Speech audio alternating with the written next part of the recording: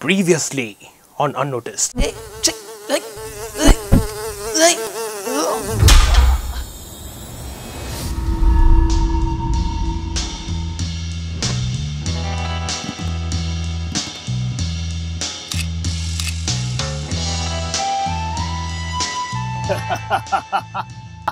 அந்த கெமிஸ்ட்ரி வாத்தியார் வால்டர் இருக்கா தெரியுமா அவ கொடுக்குற பொருள் நல்லா தான் இருக்கும் ஆனா அவன் தான் டேஞ்சரான ஆளு. அவனை போட்டு தள்ளுரு அவன் கூட ஒரு நோஞ்சா இருப்பான் தெரியுமா? அவனை மட்டும் புடிச்சிட்டு வந்துரு. உனக்கு எவ்வளவு கிராம் வேணும்? சார் கிராம்லாம் வேணாம் சார்.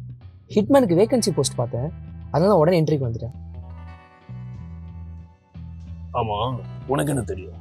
சார் சார் இப்போது லாங் ரேஞ்சில் வந்து ஒருத்தன் ஷூட் பண்ணால் வந்து AWM with eight x scope போதும் சார் பெட்டராக இருக்கும்னு நினைக்கிறேன். அதே மாதிரி மிட் ரேஞ்ச் வந்து பார்த்தீங்கன்னா M four one six two uh, x போதும். பெருசாக எதுவும் கேட்க மாட்டேன். ஷார்ட் ரேஞ்சுக்கு வந்து பார்த்தீங்கன்னா ஷார்ட் கன் ஒரு ஷார்ட் ஆல்வால் பண்ணிடலாம். ஒரு பிரச்சனை கிடையாது. இதான் சார் எனக்கு தெரிஞ்சது. பாப்லோ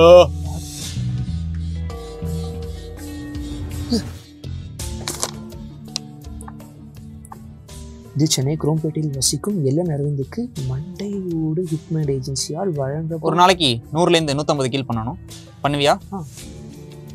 ஓகே அப்படின்னா நாளைக்கு பவனுக்கு வந்துரு. ம். அங்கே நம்ம கம்பெனியோட சீனியர் ஹிட்மேன் இருப்பார். அவர் உனக்கு கம்ப்ளீட் ட்ரைனிங் தருவார். ஆ ஓகே ஓகே அதுக்கு மேலே நீ தான் பார்த்துக்கணும் சைன் பண்ணுமா? என்ன? ஹிட்மேன் ஆகணுமா? ஆ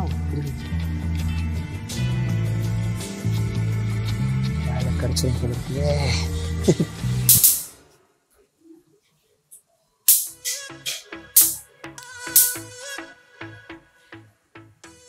நம்ம லைஃப்ல என்னதான் மோட்டிவேஷன் இன்ஸ்பிரேஷன் டாக்கு இதெல்லாம் கேட்டு வாழ்க்கையில் எதனாச்சும் ஒரு விஷயத்தை அச்சீவ் பண்ண நினைச்சாலும் நம்மளால ஒரு சில விஷயத்த மட்டும் அச்சீவே பண்ண முடியாது.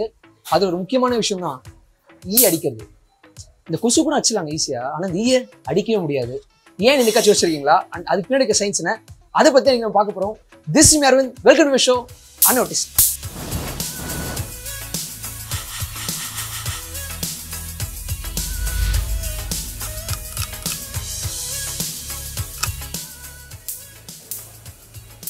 இந்த மாதிரி நிறைய ஸ்வீட் கடையில் வந்து பார்த்தீங்கன்னா ஈ e அடிக்கிறதுக்குன்னு தனியாக ஒரு ஆளை வந்து அப்பாயிண்ட் பண்ணி வச்சிருப்பாங்க. E ஈ அடிக்கிறதுக்கு ஒரு வேலையான்னு சொல்லி நீங்கள் கேட்கலாம். எப்படி வந்து சாக்கடை அள்ளுறது குப்பை அள்ளுறதுலாம் வந்து ஒரு புனிதமான வேலையை நீங்கள் பார்க்குறீங்களோ அதுக்கு ஈக்குவலான ஜாப் தான் இந்த ஈ அடிக்கிறதுன்றது. எப்படின்னு கேட்குறீங்களா இப்போ நீங்கள் சாப்பிட்டு இருக்க ஸ்வீட்டுக்கு மேலே உட்காந்துருக்க ஈ வந்து நிறைய இடங்கள் உட்காந்துட்டு வந்து உட்காந்துருக்கும் ஸோ அதை நீங்கள் சாப்பிடும்போது உங்களுக்கு டிசென்ட்ரி டைரியெல்லாம் வரதுக்கு நிறைய வாய்ப்பு இருக்குது அதை தடுக்கிறது தான் நம்மளோட ஹிட்மேனோட மெயின் ஜாப் ஓகேவா அதாவது ஹைஜீனை மெயின்டைன் பண்ணுறது தான் நம்மளோட ஹிட்மேனோட job and one and only job நம்மளோட ஹிட்மேன் ஒருத்தர் வெயிட் பண்ணிட்டு இருக்காரு அவரை நம்ம கூப்பிட்டுருமா ஹிட்மேன் பராக் வாங்க. வணக்கம்ண்ணா சரி இப்போ இந்த ஈ அடிக்கிறதுன்றது எவ்வளோ கஷ்டமான ஒரு வேலைண்ணா? கஷ்டம் தான் சார். அது இங்கிருந்து பாருங்க அங்கே போய்கிட்டு இருக்கோம் அங்கேருந்து பாருங்க இங்கே வந்துட்டு இருக்கோம். ஆ. அதை அடிக்கணும்னா நல்ல சர்வீஸில் தான் அடிக்க முடியும். Okay okay. பட்டு பட்டுன்னு அடிக்கலாம். ஸோ சாதாரணமாக ஒருத்தவங்களால அந்த விஷயத்த பண்ணிட முடியாது. அதுக்கு எக்ஸ்பீரியன்ஸ் வேணுன்றீங்க கஷ்டம் கஷ்டமான விஷயம். ஓகே சரி ஃபர்ஸ்ட் நீங்க இதை பண்ணிட்டு இருக்கிறதுக்கும் இப்போ நீங்க பண்ணிட்டு இருக்கோம் நிறைய எக்ஸ்பீரியன்ஸ் உங்களுக்கு கிடைச்சிருக்கும்ல. ஸோ இப்போ உங்களால ஈஸி அடிக்க முடியுதா ஈலாம். எவ்வளோ வருஷமா இந்த இது பண்ணிட்டு இருக்கீங்க? ஒரு மூணு வருஷமா. மூணு வருஷமா பண்ணிட்டு இருக்கீங்க. சூப்பர்ண்ணா சூப்பர்ண்ணா நிறைய பேருக்கு இது ஆக்சுவலி தெரியாது நான் ஈ அடிக்கிறதுக்கு ஒரு ஆளுன்றது நிறைய பேருக்கு தெரியுது. எனக்கு இது புதுசா இருந்துச்சு. வெரி ஹாப்பிண்ணா வெரி ஹாப்பி தேங்க்யூண்ணா உங்க பேரு? நாதமுனி. நாதமுனு. இவர் தான் ஹிட்மேன் And he's arrived. இந்த ஈஐயை நம்மளால சாதாரண அடிக்க முடியலன்னு தெரிஞ்சதுக்கு முன்னாடி ஒரு சின்னதா ஒரு எக்ஸ்பெரிமெண்ட் ஒன்று பண்ணி பார்த்துடலாம். என்னன்னா ஒரு கிளாக்கை நம்ம நார்மலாக கேமராவில் ரெக்கார்ட் பண்ணிட்டு இருக்கோம்னு வச்சுக்கோங்களேன். நீங்க அந்த செகண்ட்ஸ் முழு வந்து ஒரு ஒரு செகண்டுக்கு நகர்றதை உங்களால் பார்க்க முடியும். இதுவே ஸ்லோ மோஷன் ஆப்ஷன்ல ஒன் டுவெண்ட்டி எஃபிஎஸ்ல நீங்க ரெக்கார்ட் பண்ணி பார்த்தீங்கன்னு வச்சுக்கோங்களேன். நீங்க முன்னாடி பார்த்த வீடியோவோட நாலு மடங்கு அந்த செகண்ட்ஸ் முள்ளு ஸ்லோவா நகர்றது உங்களால் பார்க்க முடியும். இதுவே டூ ஃபார்ட்டி எஃபிஎஸ்ல நீங்க ரெக்கார்ட் பண்ணீங்கன்னு வச்சுக்கோங்களேன். இப்போ பார்க்கறதுக்கு முன்னாடி பார்த்ததோட எட்டு மடங்கு அந்த செகண்ட்ஸ் முழு ஸ்லோவா நகர்றத உங்களால பார்க்க முடியும். எஃபிஎஸ் அப்படின்னா வந்து ஃப்ரேம்ஸ் பர் செகண்ட்னு உங்க எல்லாருக்குமே தெரியும். ஒரு வீடியோவை என்னதான் நீங்க ரெக்கார்ட் பண்ணாலும் சரி ரெக்கார்ட் பண்ண வீடியோவை நீங்க பார்த்தாலுமே சரி இதெல்லாம் என்னதான் பார்க்கறதுக்கு எல்லாமே கண்டினியூஸா வந்து ஒரு வீடியோ ரன் ஆயிட்டு இருக்க மாதிரி தெரிஞ்சாலுமே இது எல்லாமே பல இமேஜஸ் ஒரு ஒரு இமேஜா ஜாயின் பண்ணி உருவாக்கப்பட்டது தான் இதுல அந்த இமேஜ் தான் வந்து ஃப்ரேம் நம்ம நார்மலாக கேமரில் எடுக்கிற வீடியோஸ்லாம் பார்த்தீங்கன்னா twenty four frames per second thirty frames per செகண்டில் தான் எடுக்கும். இப்போ உதாரணத்துக்கு நம்ம ஸ்லோ மோஷன் மோடில் போய் ஒன் டுவெண்ட்டி ஃப்ரேம்ஸ் பர் செகண்டில் எடுக்கும்போது என்ன நடக்கும்னு பார்த்தீங்கன்னா அதை ப்ளேபேக் பண்ணி பார்க்கும்போது ஒன் டுவெண்ட்டி ஃப்ரேம்ஸை தேர்ட்டி தேர்ட்டி தேர்ட்டி தேர்ட்டியாக பிரிச்சிரும். ஸோ இதனால் ஃபஸ்ட்டு தேர்ட்டி ஃப்ரேம்ஸை ப்ளே பண்ண ஒன் செகண்ட் செகண்ட் தேர்ட்டி ஃப்ரேம்ஸை ப்ளே பண்ண ஒன் செகண்ட் தேர்டு தேர்ட்டி ஃப்ரேம்ஸை ப்ளே பண்ண ஒன் செகண்ட் ஃபோர்த்து தேர்ட்டி ஃப்ரேம்ஸை ப்ளே பண்ண ஒன் செகண்ட்னு மொத்தமாக நாலு செகண்ட் எடுத்துக்கும் இதனால தான் பார்த்தீங்கன்னா நமக்கு ஒன் செகண்ட் எடுத்த வீடியோவை ஃபோர் செகண்ட் இழுத்து காட்டுது. இதனால தான் நமக்கு அந்த வீடியோ ஸ்லோ மோஷனில் தெரியுது. அதே மாதிரி எல்லா உயிரினங்களோட கண்கள் வந்து பார்த்தீங்கன்னா கேமரா மாதிரி ஆக்ட் ஆகும். எப்படின்னு கேட்டிங்கன்னா வந்து ஏன்னா அதை பார்க்குற எல்லா விஷயமும் ஒரு கண்டினியூஸ் வீடியோவாக ரன் ஆகிற மாதிரி தெரிஞ்சாலுமே அது எல்லாமே வந்து பார்த்தீங்கன்னா ஜாயின் பண்ணப்பட்ட இமேஜஸ் இந்த பிரெயின் இந்த இமேஜஸ்லாம் வந்து எவ்வளோ ஃபாஸ்ட்டாக ஜாயின் பண்ணுது அப்படின்றதுக்கு பேர் தான் வந்து ஃப்ளிக்கர் ஃபியூஷன் ரேட் அப்படின்னு சொல்லுவாங்க. மனுஷங்கான நமக்கு வந்து பார்த்தீங்கன்னா இந்த ஃப்ளிக்கர் ஃபியூஷன் ரேட் வந்து முப்பதுலேருந்து அறுபது வரைக்கும் இருக்கும்.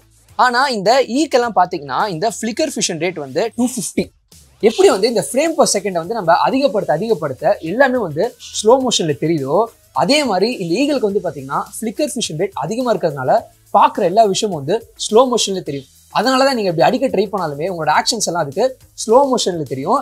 அது இது ஒரு சான்ஸ் யூஸ் பண்ணி தச்சு போயிடும்.